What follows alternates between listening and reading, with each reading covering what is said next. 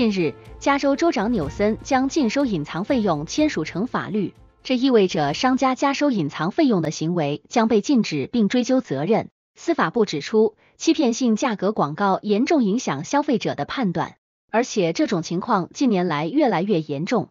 许多商品和服务均在收取隐藏杂费，包括银行、活动门票售票商、航空公司、在线销售商、酒店。餐厅及食品配送服务等，是在购买商品或服务时，突然出现且不明确或难以理解的额外费用。这些费用通常不是明确的、合理的费用，而是被商家或服务提供者添加到交易中，以增加其收入，但通常没有提供明确的或合理的解释。数据估算指出，大约百分之八十五的美国人每年要支付总额达两百八十亿美元的隐藏杂费。加州作为全美人口最多的州，支付了相当大比例的这些隐藏费用。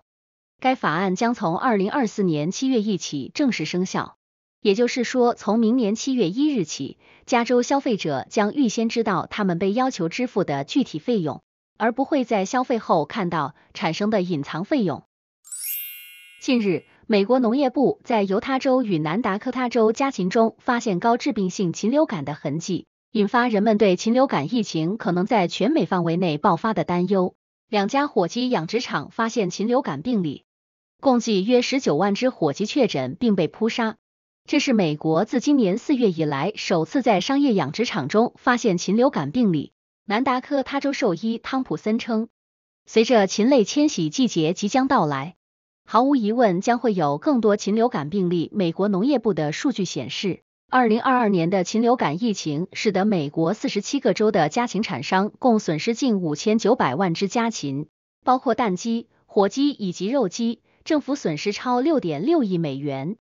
成为美国历史上最致命的一次禽流感疫情。从十月十日到十一日凌晨，以色列军方继续对加沙地带的多处目标展开空袭，哈马斯继续对以色列发射火箭弹。巴方武装人员还在约旦河西岸纳布卢斯东部地区与以军发生武装冲突。哈马斯消息人士证实，两名哈马斯高级官员当天被以军空袭身亡。此外，以色列国防军发言人当天表示，以色列国防军已经完全控制了加沙地带周围的地区，但这一说法未得到巴方证实。据以色列军方和巴勒斯坦卫生部十一日公布的最新消息。巴以新一轮冲突爆发以来，已造成至少两千一百五十人死亡。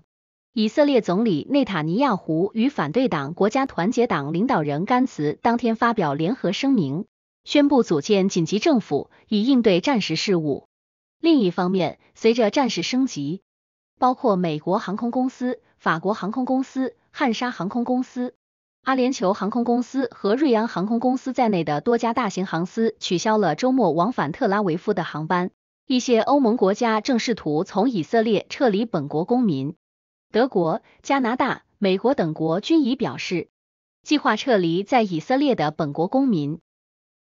斯里兰卡十月十一日就中国初步同意其提出的债务重组方案表示欢迎。不过，在帮助斯里兰卡解决债务问题方面发挥重要作用的国际货币基金组织则表示，事前对此并不知晓。斯里兰卡政府去年有四百六十亿美元的到期债务未能如期偿还。中国是斯里兰卡最大的双边贷款方，